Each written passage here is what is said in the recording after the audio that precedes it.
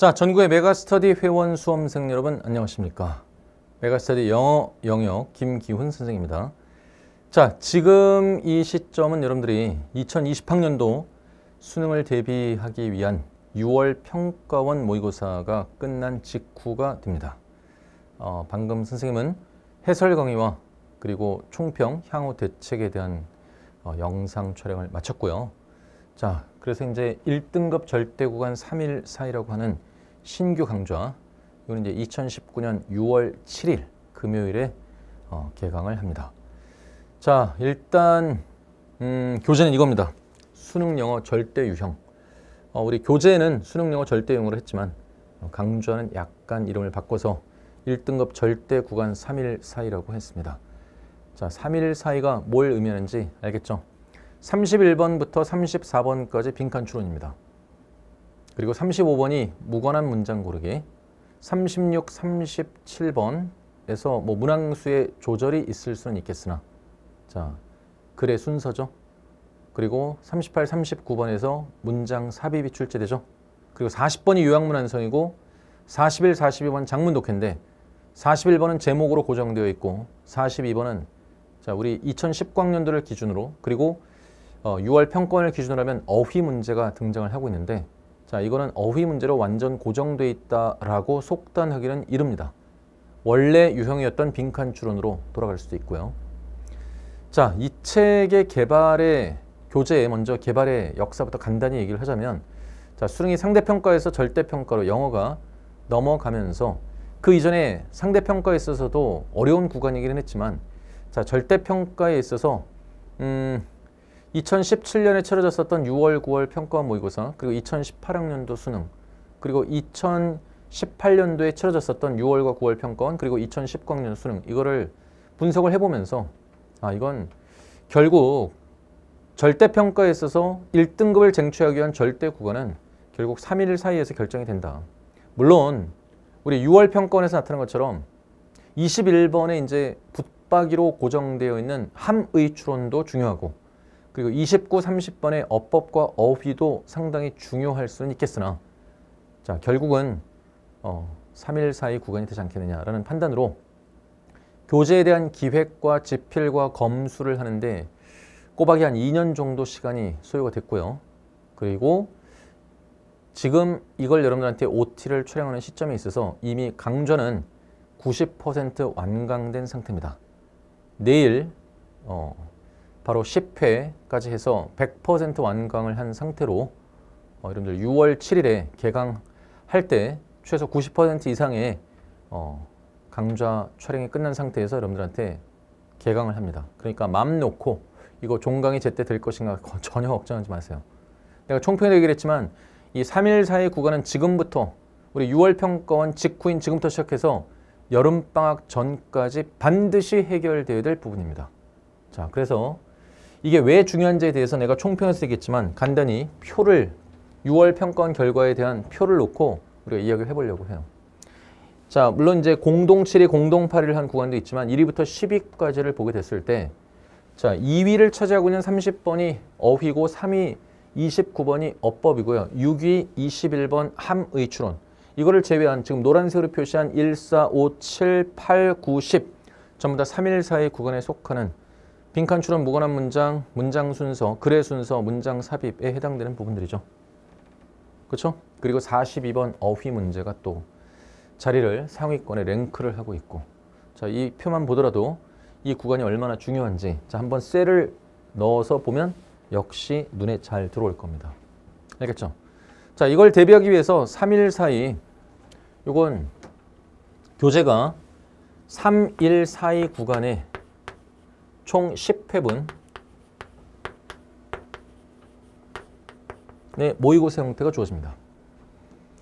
자, 3일 사이까지가 총 12문항이니까 그래서 120문항이 될 텐데 이게 120문항이지만 상당히 임팩트 있는 유형들이기 때문에 이건 강좌, 이 해설 강의를 하는데 시간이 좀 많이 필요합니다. 그래서 요거를 회당 4강씩 총 40강으로 좀 길게 가지만 이렇게 진행됩니다. 한 강당 시간은 50분을 넘지 않고요. 뭐 일부 50분이 넘을 수도 있습니다. 그래서 네 강의 한 회를 어, 마무리 지어서 40강으로 진행할 겁니다. 자, 강좌 시수가 좀 부담스러울 수 있을지는 모르겠지만 이게 워낙 난도가 높기 때문에 한 강에 어, 3개 어, 이상 하기가 힘들어요. 자, 그렇기 때문에 대개 한 강당 세 문항씩 해서 차근차근 또박또박 자세히 독해에 대한 유형적 개념에 대한 정확한 이해와 문제 해결에 대한 원리가 제시되어 있습니다. 그리고 이 3일 사이 구간 중에서도 보면 사실 31번부터 39번까지 그 빈칸 추론과 무관한 문장 고르기, 문장 순서, 글의 순서, 문장 삽입은요.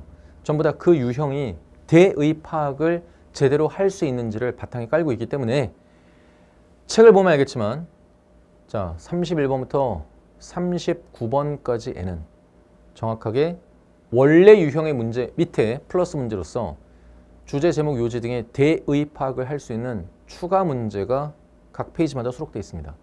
그래서 여러분들은 이 3일 사이 구간에 있어서 어 그럼 왜 40번의 요약문 완성과 41, 42번 장문 독해 등은 없습니까? 요약문 완성과 제목 문항 자체가 대입 파악을 해야 되는 거잖아요. 그러니까 별도의 문제를 만들 필요가 없어서 안 했었던 거고 모든 회차의 31번부터 39번까지는 전부 다 본래 유형 밑에 대입 파악 유형 보너스 플러스 문제까지 주어집니다.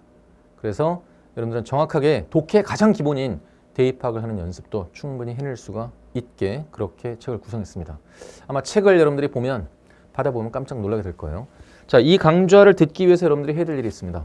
제일 중요한 건 문제를 풀어야 된다는 거죠. 그래서 해당 문풀 시간은 24분으로 정해져 있습니다. 당연히 강의를 듣기 전에 4강 한 세트를 듣기 전에 여러분들은 24분을 재서 문풀을 하고요. 알겠죠? 그런 다음에 채점을 해야 됩니다. 채점을 할 때는 항상 중요한 게 내가 만약에 34번 이번에 이제 6월 평가원도 상당히 어, 34번이 최저로 정답률이 나타났는데 틀렸다면 거야 되겠죠. 그리고서 내가 지금 마킹한 것이 뭐 2번을 원래 마킹을 해서 틀렸다고 했을 때 채점을 해서 34번에다가 틀렸다라고 긋고 바로 그냥 4번 이렇게 표시를 해버리면 절대로 안 됩니다. 자, 일단 문항에다가 틀렸다는 표시만 해두고 이 상태에서 놓고 다시 풀어봐야죠. 그, 그게 2차적으로 반드시 돼야 됩니다. 왜 틀렸는지에 대한 오답 원인을 스스로 규명해야 됩니다. 그러니까 추론 근거를 정확하게 포착을 못해서 틀렸는지 추론 근거에 대한 포착은 했지만 그 부분에 대한 문장 전체 해석 혹은 부분 해석의 오역과 오독이 발생하지는 않았는지 그 오역과 오독이 발생한 것이 어휘의 문제였는지 아니면 구문 해석 능력의 문제였는지 이거를 스스로 생각을 해야 돼요. 오답 노트까지 만들 필요는 없습니다. 그럴 시간이 어디 있어요. 오답 원인에 대한 것만 파악을 해두고 간단히 책 여백을 이용해서 메모를 하세요. 이 책 뭐 깨끗하게 둬서 뭐 할 겁니까? 금년만 보고 반드시 합격한 다음에 끝내야 되겠죠? 자, 그런 다음에 수업을 들으면서 독해에 대한 개념 적용이 잘 되고 있는가, 문풀에 대한 원리 적용이 잘 되고 있는가, 그거를 나와 수업을 들으면서 싱크로율을 맞춰주면 됩니다. 그리고 회차를 거듭할수록 여러분들의 취약점이 계속해서 보완되면 될 것이고요. 알겠죠? 자, 항상 그래왔듯이 세듀를 통해서 대한민국 최고 고퀄의 컨텐츠를 만들어 왔던 것 이어가고 있고 놀랄 겁니다 아마. 그리고 자, 이 교재 구성을 하는 데 있어서 유형뿐만 아니라 지문에 대한 구성도 옛날 거 무슨 저 뭐 복붙, 복사해서 붙이기 이게 아니라 전부 다 새롭게 문항 개발을 했습니다. 가장 만들기 어렵고 까다로운 문항들인데 정말 많은 시간이 걸렸던 거죠. 놀라게 될 겁니다. 그리고 최선을 다한 정성을 다한 강좌를 통해서 여러분들한테 그리고 여러분들이 내가 이 시점을 정해줬잖아요. 이건 6월 평가원 끝난 직후 빨리 충격에서 헤어나고 그리고 여름방학 들어가기 전까지 해줘야 되는 것이다. 해서 미리 선생님은 애써서 아직 교재가 이게 지금 책으로서 나온 지 얼마 안 됐습니다. 계속 이 회차마다 완성될 때마다 그 회차마다 완성된 원고 프린트아웃 해갖고 수업을 해 왔어요. 그래서 이제 거의 다 지금 끝나고 90% 공정이 돼 있는 상태에서 OT를 찍은 거예요. 미리 OT를 찍은 게 아니라. 자, 그렇게 해서 진행을 합니다.